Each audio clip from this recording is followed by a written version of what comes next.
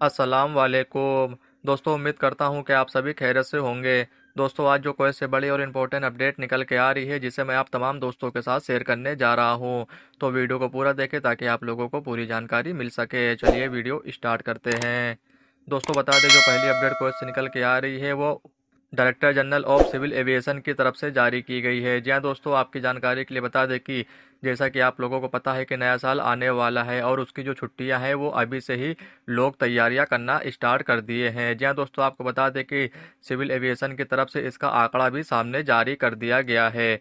उनतीस दिसंबर से लेकर एक जनवरी के बीच में लगभग एक लाख उनतालीस हज़ार लोग ऐसे हैं जो लोग कोयत से बाहर भी जाएँगे और कोयत में एंटर भी करेंगे। जी हाँ दोस्तों, आपको बता दें, अगर आप लोग भी कोयत से अगर अपने मुल्क जाना चाहते हो और इसी डेट के बीच में जाना चाहते हो तो आप लोगों को जो टिकट प्राइस है वो काफ़ी ज़्यादा महँगा मिल सकता है। जी हाँ दोस्तों, आपको बता दें कि फ़्लाइट की जो बुकिंग है, वो स्टार्ट कर दी गई है। अगर आप लोग बुक करना चाहते हो तो आप लोग बुक कर सकते हो, लेकिन इसकी जो प्राइस है वो काफ़ी ज़्यादा बताई जा रही है। और आपकी जानकारी के लिए बता दें कि सिविल एविएशन की तरफ़ से बताया गया है, जो लोग कोई से ज़्यादातर जिस जगह के लिए टिकट बुक कर रहे हैं, चलिए आपको बता देते हैं।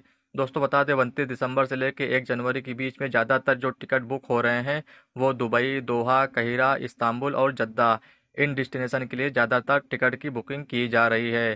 तो दोस्तों, अगर आप लोग भी घूमना फिरना जाना चाहते हो तो जा सकते हो, या फिर अपने मुल्क जाना चाहते हो तो आप लोग अपने मुल्क भी जा सकते हो। लेकिन दोस्तों, आपको बता दें कि जितने लोग कोयत के अंदर एंटर करेंगे और जितने लोग कोयत से बाहर जाएँगे, वो भी मैं आप तमाम लोगों को बता दूँ।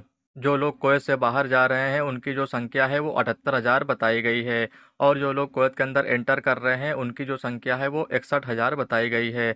तो दोस्तों, कुछ इस तरीके से सिविल एविएशन की तरफ़ से ये आंकड़ा जारी कर दिया गया है और आपको बता दिया गया है कि अगर आप लोग उनतीस दिसंबर से लेकर एक जनवरी के बीच में टिकट बुक करना चाहते हैं तो आप लोग बिल्कुल कर सकते हैं, लेकिन जो टिकट प्राइस है वो काफ़ी ज़्यादा आप लोगों को महँगा पड़ सकता है।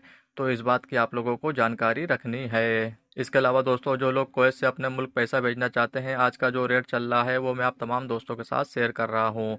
दोस्तों, अगर हम इंडिया की बात करें तो इंडिया में एक के डी का दो सौ सड़सठ रुपये पैंतालीस पैसे हैं। वहीं पर अगर हम पाकिस्तान की बात करें तो सात सौ चौबीस रुपये ग्यारह पैसे हैं।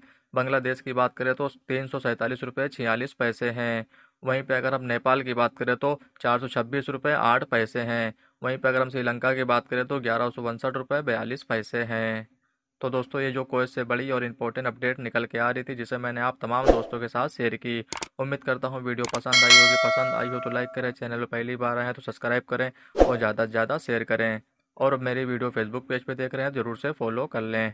वीडियो देखने के लिए आप लोगों का बहुत बहुत शुक्रिया। चलिए मिलते रहो किसी नई अपडेट में। अब तक के लिए, अल्लाह हाफिज़।